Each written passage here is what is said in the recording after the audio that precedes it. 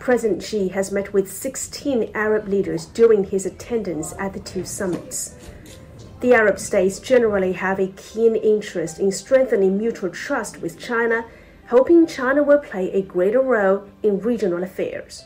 In both the speech he delivered six years ago at the headquarters of the Arab League and in the numerous bilateral meetings he has held with leaders of the Arab states during this visit, development has been one of the words most frequently used by President Xi.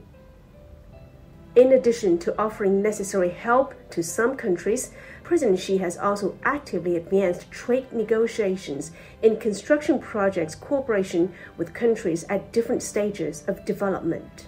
These are the pragmatic endeavors China has made in jointly building a China Arab community with a shared future.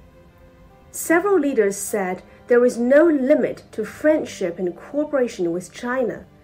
The Global Development Initiative and the Global Security Initiative have been well received in the Middle East.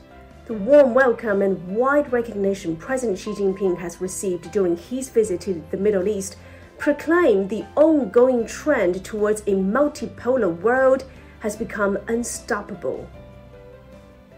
Over the past decade, China has signed Belt and Road Cooperation documents with more than 20 Arab countries and the Arab League.